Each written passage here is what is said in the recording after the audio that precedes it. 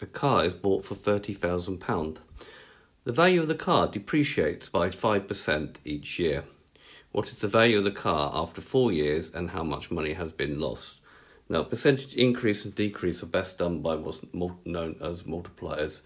This is actually a percentage decrease, and the multiplier for a 5% decrease is 1. 1 stands for the 100% minus 0.05. That's the 5%, and that is gives you 0.95. So it's better to think, if you think of this, if you have a decrease of 5%, you have 95% left. So that will sort of make sense.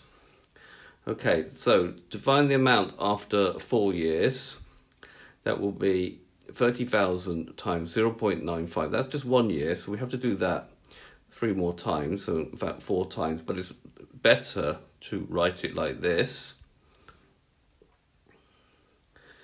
As the amount will be 30,000 times 0.95 to the power of 4.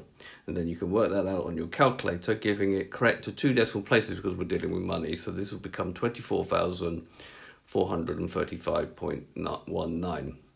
Now, how much money has been lost? Well, the amount of money that's been lost is the original amount of money, which is 30,000, minus our answer here, and that will give me uh, 5,564.81.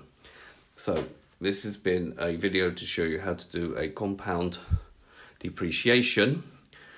I hope you've understood, and I thank you very much for watching.